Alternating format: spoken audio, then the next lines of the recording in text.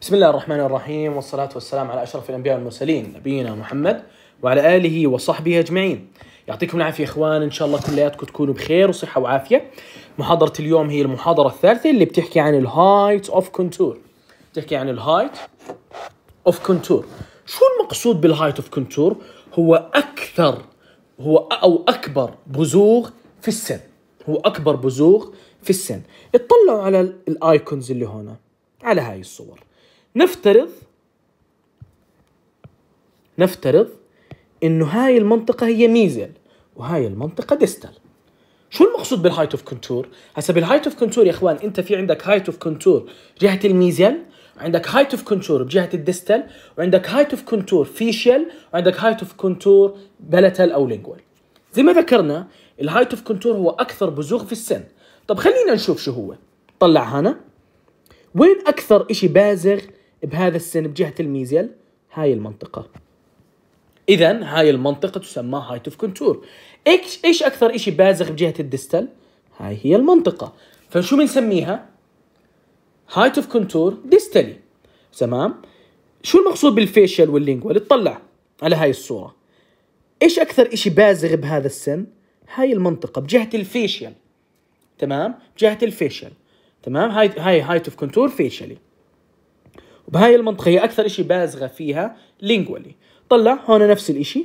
هاي المنطقة تعتبر ال height of contour لأنها أكثر إشي بازغة وهاي هي تعتبر ال height of contour لأنها أكثر إشي بازغة. تمام؟ فمرة ثانية شو ال height of contour هو أكبر إشي بازغ بالسن. وعندك height of contour mesially عندك distally عندك facially وعندك إيش؟ lingually حلو حلو ممتاز. طيب شو أهمية ال height of contour راح نحكي إن شاء الله كمان شوي. خلينا نمشي بالمحاضرة بشكل سريع. Teeth are not formed of straight lines. بتقول لك الأسنان ما بتكون جاي خط مستقيم. بيكون في لها بروز. But have زي ما قلنا لكن لديها different curvatures. في عندها ميلانات مختلفة that must be reproduced when making a restoration. فمرة ثانية بقول لك الأسنان ما بتكونش خطوط مستقيمة بيكون فيها إيش؟ ميلانات بيكون فيها انحناءات. وهذه الانحناءات لازم نشكلها. شو معنى reproduced معناها إنك بتشكل إعادة تشكيل أو إعادة بناء فلازم نرجع نبنيها لما بدنا نيجي نحط حشوات ريستوريشن معناها الحشوات أو تعويضات. تمام. لماذا لازم نبني هاي الانحناءات؟ لأنه لها وظائف معينه راح نذكرها كمان شوي. فبيقول لك ال height of contour أو إلى اسم ثاني crest of curvature اللي هي قمة الميلان أو قمة الانحناء. ال height of contour هي عبارة عن curved lines خطوط منحنية have point لديها نقطة. That is considered the most prominent point. يعني هذا الانحناء اللي انت شايفه بهاي الصورة عنده نقطة وهاي النقطة هي أكثر نقطة إيش بتكون prominent. أكثر نقطة واضحة البروميننت مقصود فيها الوضوح. أكثر نقطة بازغة. Or the highest point. يعني هي أكثر نقطة بازغة أو أعلى نقطة of the curved line. اطلع على هاي الصورة. طلع على هاي الصورة. تمام؟ هسا بقول لك السن بيمثل هذا الخط. الأسنان تيجي منحنية. وليست خط مستقيم. وليست خط مستقيم تيجي منحنية. هسا لما تسقط انت خط جاي على نفس محور الدوران. شو معنى نفس محور الدوران؟ طلع هذا السن في عندك شيء اسمه؟ long axis شو ال long axis هو خط بيجي من فوق لتحت. السن ممكن يكون مايل ممكن يكون مايل هيك ممكن يكون مايل هيك. فهذا بسموه خط على محور الدوران. فبيقول لك إذا أنت رسمت خط موازي على محور الدوران موازي لمحور الدوران راح تطلع معك نقطة. تمام؟ هاي النقطة يعني راح يصطدم بنقطة على السن. هاي النقطة بتسمى prominent point أو تسمى ال height of contour أكثر إشي بازغ. فهاي النقطة الموجودة هنا بنسميها ال height of contour أكثر إشي بازغ. بقول لك unlike straight line where all points are at the same level. يعني بقول لك لما يكون في عندك أنت منحنيات لما يكون في عندك أنت منحنيات في عندك نقطة بتكون بازغة مش زي الخطوط المستقيمة.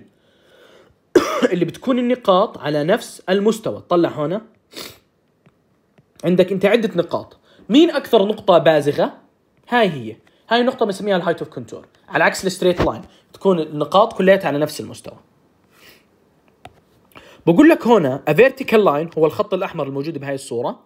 a vertical line touch the curved line in one point or area. يعني بيجي خط مستقيم بيصطدم بنقطة واحدة أو ب area شو معنى area؟ معناها عدة نقاط بازغة مع بعض. This point أو أو ال area يعني هاي النقطة أو المساحة اللي خابط في هذا الخط تسمى ال height of contour or the crest of the curvature اللي هي قمة الميلان. أو تسمى قمة الميلان. هسا عندنا يا إخوان نوعين من ال height of contour عندنا ال proximal height of contour بيكون هو بزوغ جاي بين السنين. وعندك facial or lingual height of contour بكون عندك بزوغ جاي يا facially يا lingually تمام. طيب بدنا نحكي هسه وظائفهم. بس مرة ثانية اطلع على هاي الصورة. عندي أنا هنا mesial وهنا distal كل سن له mesial و distal height of contour تمام؟ بقول لك ال mesial height of contour and distal height of contour. Both are seen كليهما. هذول ال height of contour بقدر أشوفهم facially أو lingually بقدر أشوفهم facially أو lingually تمام؟ يعني لما أطلع من جهة ال facial من جهة وجه المريض أو لما بدي أجي أطلع من ورا بقدر أشوف هاي ال height of contour مرة ثانية. mesial height of contour and distal height of contour both يعني كليهما بقدر أشوفهم من جهة ال facial أو من جهة ال lingual aspect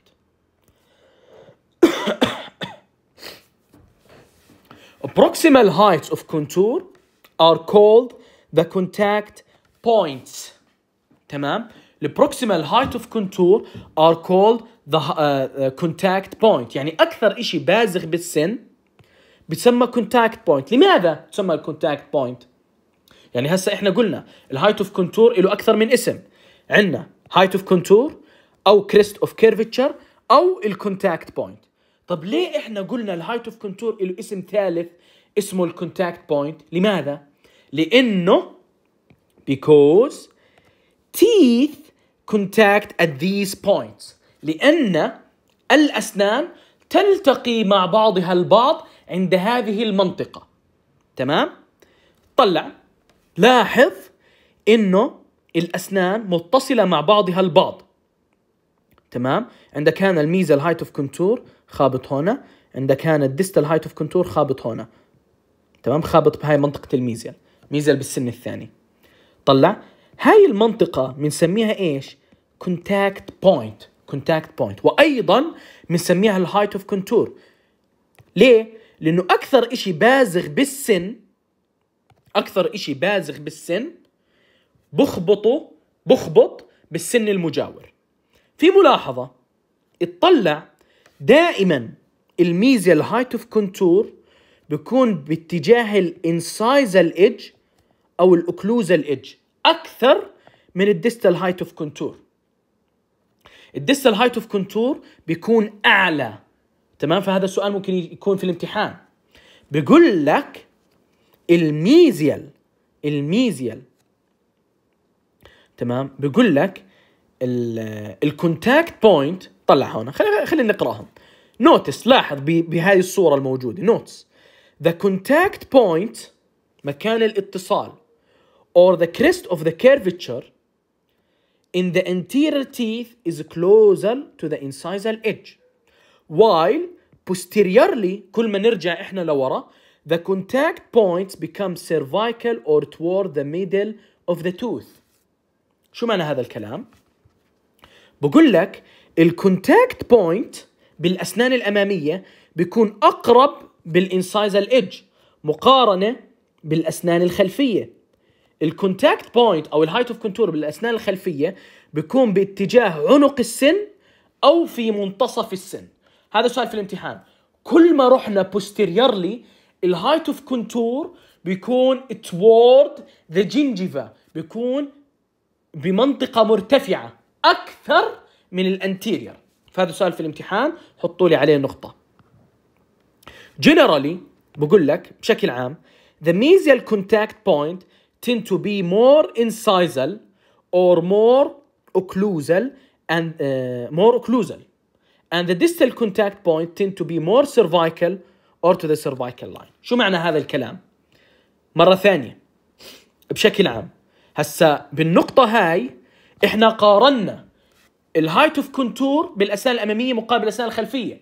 وقلنا ال height of contour بالأسنان الأمامية بيكون أقرب بال in... من ال incisal بيكون أقرب بال incisal edge هاي النقطة بقارن ال mesial height of contour بال distal height of contour حلو؟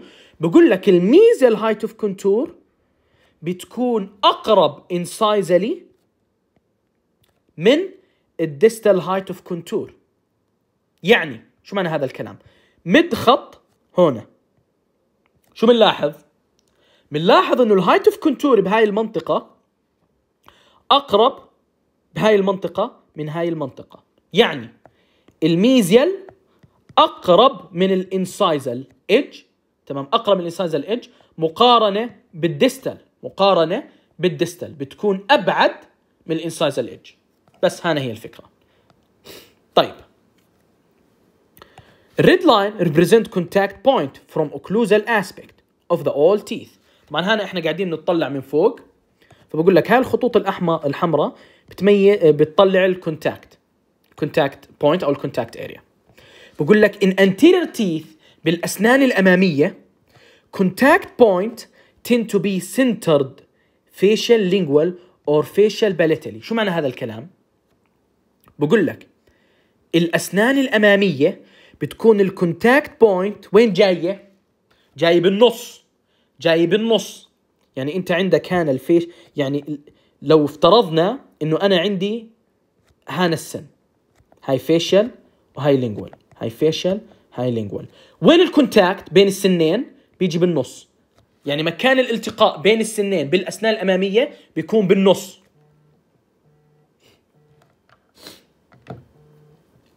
تمام؟ بقول لك as the tooth is divided into equal halves. يعني مكان الالتقاء بيقسم السن لنصين نص أمام ونص خلف. بقول لك بالأسنان الخلفية contact point tend to be more facially طلع هنا طلع على هاي الصورة. طلع ال contact point ال contact point جاي طلع. هذا الخط بيقسم السن لنصين. facial و lingual تمام؟ لاحظ ال contact point بالأسنان الخلفية. وين جاي؟ جاي أقرب لجهة ال facial جاي أقرب لجهة ال facial لكن اطلع هنا الأسنان الأمامية. طلع الاسنان الاماميه طلع مكان الالتقاء مكان الالتقاء جاي بالنص. يعني هاي المسافة لو هنا مثلا نص ملي هاي المسافة نص ملي تمام؟ فمرة ثانية. مرة ثانية. ال height of contour لما بدي أجي أطلع عليها occlusally مكان التقاء السنين مكان التقاء السنين بالأسنان الأمامية بتكون سنترال بتكون سنترال يعني بنص السن. بالنص تمام؟ لكن بالأسنان الخلفية مكان الالتقاء مكان الالتقاء بيكون facially بيكون facially طلع هنا. هذا هذا هيك بقسم السن لنصين مكان الالتقاء بيكون جاي facially حلو.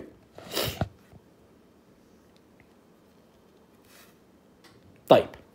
إخوان هسه في شغلة مش إحنا قلنا ال height of contour لها اسم ثاني اسمه ال contact point هسه ال contact بتنقسم لقسمين ال contact تنقسم إلى قسمين عندك point وعندك area حلو يعني هسه بلشنا نتفرع بقول لك there are difference between contact point and contact area بقول لك the height of contour in newly erupted teeth start as a contact point not contact area. يعني بقول لك أول ما الأسنان تبزغ أكبر قمتين فيهم لما يلتقوا مع بعض بيكون اسمها contact point يعني بيلتقوا بنقطة معينة.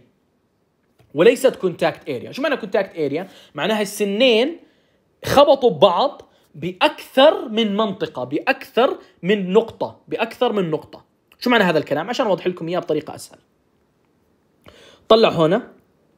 الالتقاء جاي بخط واحد. الالتقاء جاي بنقطة واحدة. طلع هنا الالتقاء بكم نقطة؟ الالتقاء بأكثر من نقطة. فلما يكون الالتقاء بأكثر من نقطة بنسميها contact area بحط خط بسميها contact area لكن لما يكون ال contact بنقطة معينة بسميها إيش؟ contact point فمرة ثانية. There are difference between contact point and contact area. The height of contour اللي هو أكثر شيء بلجي in newly erupted teeth start as a contact point not as a contact contact area. يعني أو يعني الأسنان لما تبزغ يعني أول ما الأسنان تبلش تطلع. بيلتقوا مع بعض بنقطة بنسميها contact point بعدين بتحول ل contact area لماذا هذا الكلام؟ بقول لك لأنه الأسنان الجديدة اللي لساتها طالعة are not used much nor exposed to attrition during function. With the adjacent tooth. طبعا ليش بكون الالتقاء بنقطة في البداية مش ب area؟ لأنه الأسنان لساتها جديدة فلم يتم استخدامها وهاي الأسنان ما صار لهاش attrition شو معنى attrition معناها تآكل. معناها تآكل. فالأسنان لما يصير لها تآكل بيصير الالتقاء مع بعض ب area. so so, نتيجة لهاي المعلومة اللي إحنا ذكرناها contact points turns into contact area due to rubbing with each other مش عارف ليش بصير يقطع which is associated with loss of tooth structure leading to flatter or wider area of contact فبقول لك مرة ثانية نتيجة لتآكل الأسنان مع الوقت بصير الأسنان بيلتقطوا مع بعض باريا وليست بوينت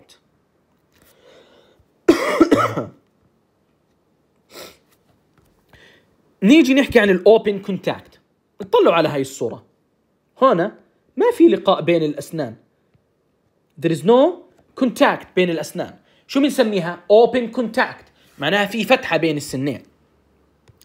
ال open contact is a problem with a restoration that don't restore the normal contact area and leave a space between teeth. بقول لك لما بدنا نيجي نحشي الأسنان لازم لازم يكون في contact بين الأسنان. لماذا؟ لأنه بكل بساطة إذا أنت ما خليت في contact بين الأسنان راح يصير في عندنا مشاكل. فمرة ثانية لما يجيك patient على العيادة عنده تسوسات عنده تآكل بالأسنان لازم تحفر السن وتخلي السنين الملتقيين مع بعض. لازم يكون في contact بين السنين. زي ما أنت شايف بهاي الصورة. لازم يكون في التقاء بين السنين. لماذا؟ إذا ما كانش في التقاء بين السنين وكان في جاب هذا الإشي راح يسبب لنا مشاكل كثيرة. تمام؟ راح يسبب لنا مشاكل كثيرة.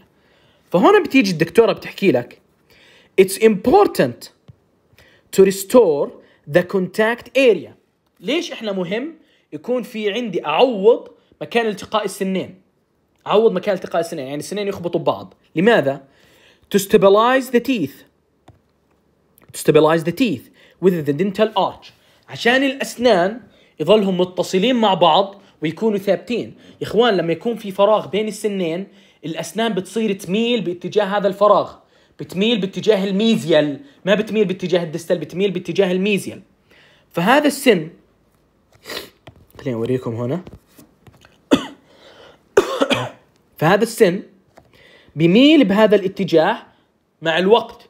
فعشان هيك أنا لازم اعوض هذا الكونتاكت لازم اكبر السنين واخليهم يخبطوا ببعض to stabilize the teeth بالاضافه prevent food impaction in open contact or area which cause harm interdental papilla gingivitis periodontitis or even interproximal caries مرة ثانية بقول لك كثير مهم اني اعوض بين السنين لماذا عشان امنع حدوث امنع تراكم ال- الاكل بهاي المنطقة بال open contact ال interdental papilla آه، okay راح نشرح بمحاضرات جاية منطقة باللثة لأنه راح يتراكم الأكل بي آه، في عند منطقة في اللثة راح نسمي راح أوريكم إياها لقدام. وراح تسبب gingivitis اللي هو التهاب اللثة أو periodontitis اللي هو التهاب أربطة اللثة هو التهاب أربطة اللثة. ال periodontitis هو مرض أقوى من ال gingivitis تمام؟ ال gingivitis هو التهاب اللثة ال periodontitis هي التهاب ال- العظم والتهاب الأربطة والتهاب اللثة حوالين السن. or even ممكن يصير عندك interproximal caries أو ممكن يصير في عندنا تسوسات بين الأسنان. مرة ثانية ليش كثير مهم إني أحافظ على ال contact بين الأسنان؟ لكي أخلي الأسنان stabilize على نفس الخط بالإضافة إني أمنع حدوث ال gingivitis وال periodontitis والتسوسات. تمام؟ هيك إحنا خلصنا إيش؟ ال height of contour إحنا هيك خلصنا ال height of contour اللي بكون proximally هسه بدنا نيجي نحكي عن ال height of contour اللي بكون facially facial أو lingual طلع. هون إحنا مسكنا السن ولفيناه على جنب. هيك إحنا مسكنا السن ولفيناه على جنب. هذا هو إيش؟ ال proximal surface هسه لما بدي أطلع من منطقة ال proximal surface هون بلاحظ إنه لو أنا ر... هسه okay قبل ما أروح عند الخط تمام؟ أنا بدي أرسم خط ينصف السن ينصف السن. ليش أنا بدي إياه ينصف السن؟ لأنه هذا بيمثل ميلان السن. هسه الأسنان هسه لو أنا افترضت إنه هاي الأرض مستقيمة الأسنان ما بتكون جاي perpendicular. بزاوية 90 لا ما بتكون جاي بزاوية 90 الأسنان بتكون أصلا مائلة بتكون مائلة هيك. تمام؟ فهذا الخط اللي جاي بنصف السن لازم أحط خط موازي لإله بارلل لإله. وهذا الخط اللي بارلل بخبط وين؟ هذا الخط البارلل بخبط وين؟ بخبط بكلي وبخبط إيش؟ lingually. هسا لما أنا أمشي خط parallel مع ال long axis of the tooth. شو ال long axis of the tooth؟ اللي هو المحور الدوران تبع السن. هذا هو بسموه ال long axis. هذا الخط بسموه ال long axis of the tooth. هذا الخط parallel. هذا الخط جاي parallel مع ال long axis of the tooth. تمام؟ هسه لما ارسم هذا الخط بلاحظ إنه أنا عندي هنا height of contour وهنا height of contour عندي في منطقة بازغة. طلع؟ طلع هنا. طلع أنا عندي هيك خط جاي زي هيك. عندي هذا هيك. هذا curvature هذا curvature ميلان. هسه بلاحظ إنه أكثر إشي بازغ بهاي المنطقة لما أحط خط parallel مع ال long axis of the tooth وهنا برضو نفس المبدأ. عندي أنا contact تمام؟ هذه النقطة شو بسميها؟ buccal height of contour لأنها buccally وهاي النقطة شو بسميها؟ lingual height of contour لأنها جاية lingually طيب خلينا نقرأ. The point of the crown outline where a line dropped is parallel with the mid root axis. يعني بقول لك إحنا لما نيجي نحط خط لما نيجي نحط خط هذا الخط لازم يكون بارلل مع الخط المنصف للسن. فبقول لك لما أعمل هاي الشغلة راح ألاحظ إنه في عندي greatest bulge of the buccal aspect or labial aspect in one point. راح ألاحظ إنه في عندي أنا نقطة بازغه تمام؟ بالإضافة عندي نقطة بازغه أخرى بتكون عند منطقة البلتل أو اللينجوال اسبكت شو بنسميهم بنسميهم facial height of contour ولو حطينا خط palatally أو lingually بسميه lingual aspect بسميه lingual height of contour تمام حلو. طيب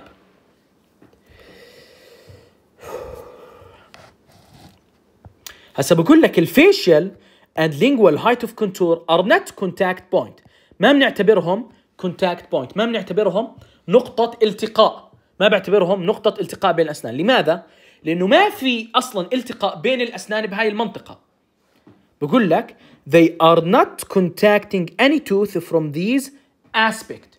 ما في نقطة التقاء بهاي المنطقة. بقول لك these nature contour and curvature help direct food away from the gingiva. طب شو فائدة الفيشيال and lingual height of contour شو فوائدهم؟ فوائدهم إنهم يبعدوا الأكل منهم يدخلوا بمنطقة اللثة. يبعدوا الأكل إنه يدخل بمنطقة اللثة. حلو؟ ليش؟ لأنه بكل بساطة إذا اجى أكل بهاي المنطقة راح يتراكم وراح يسبب لي التهابات باللثة. بالإضافة راح يسبب لي تسوسات. فمرة ثانية. إيش فائدة ال height of contour facial أو lingual height of contour وظيفتهم إنهم يبعدوا الأكل بعيدا عن اللثة. تمام؟ فبتبعد الأكل لمناطق أخرى بتتحمل المضغ. لمناطق أخرى بتتحمل عملية المضغ. لماذا؟ لأنه اللثة لا تستطيع أن تتحمل القوى اللي بتضغط عليها أثناء عملية الأكل. مرة ثانية عشان نحكيها بطريقة أسلس. مرة ثانية عشان نحكيها بطريقة أسلس. لما يجي الأكل بيجي الأكل أنت قاعد بتمضغ هون الأكل. مرات الأكل بيجي هون على هاي الأسطح. هسا ال height of contour وظيفته إنه يدفش الأكل بعيدا عن اللثة بعيدا عن اللثة. لماذا؟ لأنه اللثة لا تستطيع أن تتحمل هذه الضغوطات فممكن تتجرح أو تتآكل. أو يتراكم الأكل عندها. طب لو تجرحت أو تآكلت أو تراكم الاكل الأكل عندها شو بصير؟ بصير عندك تسوسات بصير في عندك ريسيشن انحسار للثه اللثه بتصير تذوب فبيقول لك if if the restoration إذا كان في عندك تسوس وأجيت أنت حطيت حشوة عوضت هذا التسوس بحشوة بقول لك إذا كانت حشوتك if the restoration does not follow the natural curvature. إذا كانت التعويض ما بتمشي على نفس ميلان السن الطبيعي تمام؟ راح يصير هذا الإشي إحنا بنسميه under contoured restoration. Under contoured restoration. معناها إنه ميلان السن جاي قليل ميلان السن جاي قليل. فهذا الإشي شو بيعمل لك؟ بيعمل لك gingival damage بيعمل ضرر على اللثة. مرة ثانية إذا أنت حطيت حشوة وهاي الحشوة ما كانت جاية على نفس مستوى ميلان السن. هذا الإشي بنسميه under contoured وراح يضر اللثة راح يضر اللثة. تمام. طب إذا كانت الميلان أكثر من الميلان الطبيعي إذا كان ال contour زي ما أنت شايف أكثر من الميلان الطبيعي هذا بنسميه over contoured over contoured إنه الميلان زايد عن اللزوم. طيب هذا الإشي شو ممكن يعمل؟ أوكي صحيح إنه بيدفش الأكل بعيدا عن اللثة. يعني هاي شغلة كويس إنه بيدفش الأكل بعيدا عن اللثة. لكن شو المصيبة؟ المصيبة إنه بجمع الأكل بجمع الأكل وين؟ عند هاي المنطقة. بجمع الأكل عند هاي المنطقة. فشو راح يصير؟ في شيء اسمه plaque. شو ال plaque؟ هي الطبقة اللي بتعمل تسوسات راح تنشرح لكم إن شاء الله لقدام أو في مادة ال caries. ال caries اللي هي الفصل الجاي. ال plaque هي عبارة عن طبقة بروتينات بتيجي على الأسنان وهي الطبقة البروتينية بتطلع من وين؟ من اللعاب. بتطلع من اللعاب بنسميها plaque. مش أسود اسمها plaque. صحيح نفس اللفظ لكن تختلف. ال plaque هي طبقة من البروتينات بتتكون من اللعاب. تتراكم على الأسنان. بتيجي البكتيريا والأكل بتراكم فيها وبتعمل لك تسوسات. فبيقول لك إذا كان عندك over contoured راح ال plaque يتراكم بهاي المنطقة والأكل راح يتراكم ويتخبى بهاي المنطقة. وهذا الإشي راح يمنع راح يمنع اللعاب إنه يدفش راح يمنع إنه اللعاب إنه يدفشها. فما راح تتنظف باللسان واللعاب بطريقة كويسة. فهذا الإشي راح يسبب تسوسات. فمرة ثانية. ال over contoured restoration might direct the food away from the gingiva. هاي شغلة حلوة. لكن المصيبة however some of the food will become trapped in the red area. عند هاي المنطقة. leading to plaque retention. شو ال plaque اللي الطبقه البروتينية اللي بتيجي من اللعاب. فراح يتراكم الأكل مع ال plaque بهاي المنطقة. وراح يمنع راح يمنع إنه اللعاب يشطفها. تمام؟ These area are hidden. They cannot be flushed normally by saliva. يعني اللعاب ما راح يقدر يشطفها وينظفها. تمام؟ أو تتنظف من خلال اللسان. تنظف خلال اللسان. طيب يا إخوان خلينا عم ناخذ break لأني جعان صراحة. كثير كثير جعان. تمام؟